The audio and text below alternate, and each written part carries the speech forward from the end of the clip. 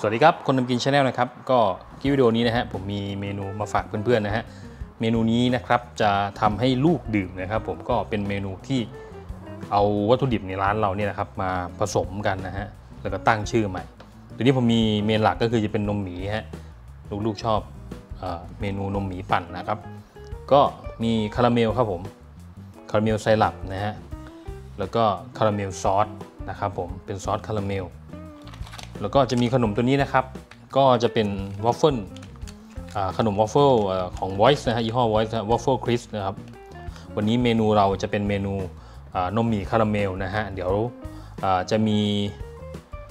เครื่องปรุงแล้วก็ส่วนเสริมอะไรบ้างนะครับ วันนี้จะเป็นปั่นดิบนะฮะ ก็คือเราจะไม่ได้ชงผ่านน้ำร้อนแต่อย่างใดนะฮะ เราจะปั่นแบบปั่นใส่โถปั่นเลย เอาเครื่องปรุงทุกอย่างใส่โถปั่นเลยนะครับ วันนี้ผมจะทำแก้วขนาด 16 ออนนะครับผม อะเดี๋ยวเริ่มกันเลยนะครับ ก็เริ่มจากนมหมีนะฮะหนึ่งกระป๋องเลย 140 ml นี่นะครับ ทั้งกระป๋องเลยนะฮะ 140 ml ก็เมนูนี้ไม่ได้ชงแบบน้ำร้อนนะครับ ก็คือเป็นการชงดิบเลยนะฮะ ใส่ลงไป นมหมีหนึ่งกระป๋องนะครับผม แล้วก็นมข้นหวานครับผม 1 ออน หรือว่า 30 ml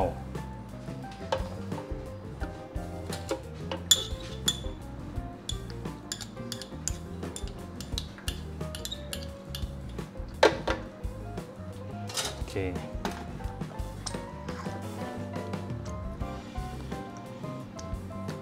ไซรัปคาราเมลฮะผมใช้แค่ 20 ml พอ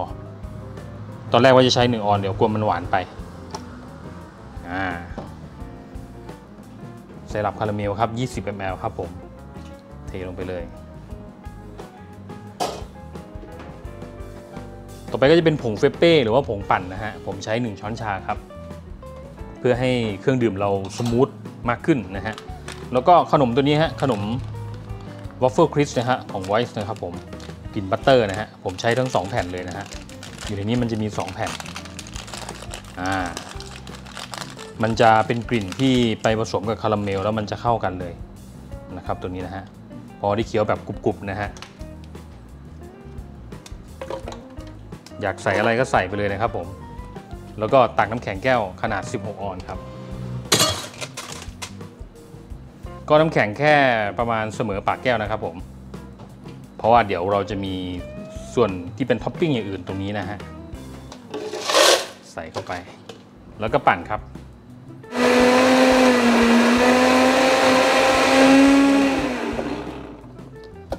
อะต่อไปครับเดี๋ยวจะแต่งขอบแก้วด้วย ซอสคาราเมลฮะ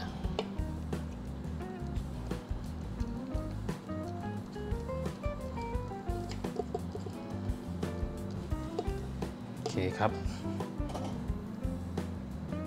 ปล่อยให้มันไหลลงเป็นลาวานิดนึงนะครับผม แล้วก็เทเครื่องดื่มเราลงมาครับ นมหมีคาราเมลแบบนี้นะครับ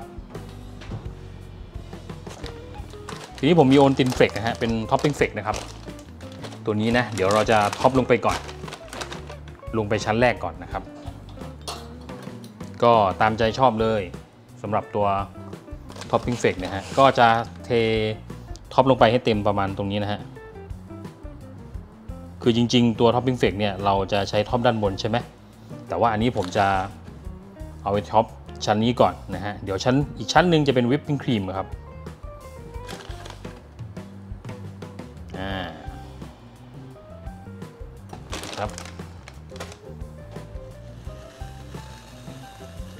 ตามใจชอบเลยครับ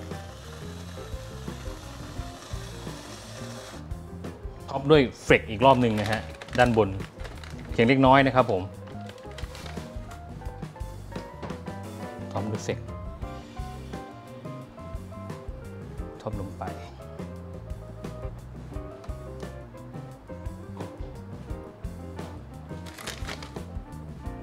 จากนั้นสุดท้ายเลยเราก็จะใช้ตัวซอสคาราเมลนะครับ top ด้านบนอีกรอบหนึ่งเมนูนี้น้ำตาลเยอะนะครับ ความหวานนี่มาเต็มเลยนะฮะมันจะเป็นคาราเมลนมข้นหวานนะฮะแล้วก็โอวัลติน flake นะครับนี่วนก็จะประมาณนี้นะฮะนมหมี่คาราเมลปั่นนะฮะปิดฝาพร้อมเสิร์ฟครับผม สร็จเรียบร้อยแล้ว นมหมีคาราเมลปั่นนะครับ ส่วนผสมไม่ยากอันนี้ปั่นดิบเลยนะครับ ผมนมหมีทั้งกระป๋องเลยเราใส่เข้าไปนะฮะแล้วก็นมข้นหวานนะฮะ30 ml นะครับผมคาราเมลไซรัป20 ml นะครับผมแล้วก็เราตกแต่งด้วยซอสคาราเมลและที่สำคัญคือเวลาเราดื่มเนี่ยชั้นตรงนี้นะฮะที่ผมบอกว่าผมไม่ได้เอาขนมตัว Voice ตัวนี้นะครับปั่นให้เป็นปั่นหยาบนะฮะเนื่องจากผมต้องการให้ตัว ขนมเนี่ยมันเข้ากับเนื้อของนมหมี แต่ว่าส่วนที่จะเคี้ยวกรุบกรับเนี่ยก็คือจะตัวเป็นตัวของท็อปปิ้ง flake โอวัลตินท็อปปิ้ง flake เนี่ยที่อยู่ชั้นด้านล่างของวิปปิ้งครีมเนี่ยนะครับแล้วก็จะอยู่ด้านบนของวิปปิ้งครีมนะฮะอันนี้ใครที่อยากจะลองทำขายก็ลองคำนวณต้นทุนดีๆนะฮะว่าจะขายประมาณเท่าไหร่ อันนี้ผมทำให้ลูกชายนะครับเป็นเมนูที่แบบว่ามีประโยชน์มีประโยชน์ด้วยเนื่องจากตัวมีส่วนผสมของนมหมี แต่ว่าในเรื่องของความหวานนะฮะเพื่อนๆก็ลองไปปรับใช้กันดูนะครับ